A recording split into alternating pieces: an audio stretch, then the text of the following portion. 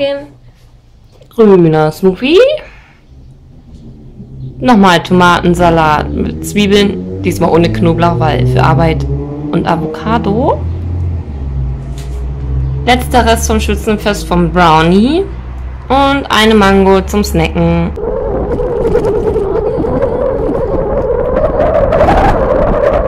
Soweit sind wir schon. Kommt so fast Ja, das ist mein Salat, den ich gerade esse. Und das schmeckt total lecker und frisch dank dem Basilikum. Yummy! Der Tomatensalat war echt super lecker. Ich muss unbedingt mal gucken, wie ich das noch gehaltvoller hinkriege, dass es noch länger ein bisschen satt macht. Weil da kriege ich immer relativ schnell wieder Hunger danach. Für Frühstück und Lunch. Lecker. Und natürlich mein Zitronenwasser.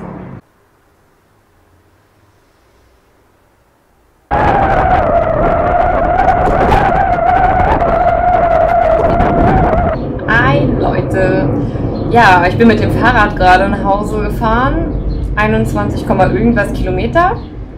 Und jetzt trinke ich erstmal ordentlich Wasser, damit ich wieder Feuchtigkeit meinem Körper zuführe. Und dann esse ich gleich ein bisschen Melone. Und dann muss ich noch einkaufen gehen für unsere Burger heute. Ich freue mich schon voll toll. Bleibt dran. Hi Leute. Ja, ich bin hier allein. Die Sonne scheint. Nee, Quatsch, es zieht ein Gewitter auf. Ich weiß nicht, ob wir es schon erzählt haben, aber jeden Donnerstag kochen Sophie und ich eigentlich zusammen. Äh, ja. Und meistens ist es so, dass ich am Donnerstag zu Hause bin, weil wir Fahrrad fahren. Und dann warte ich und die Zeit vergeht.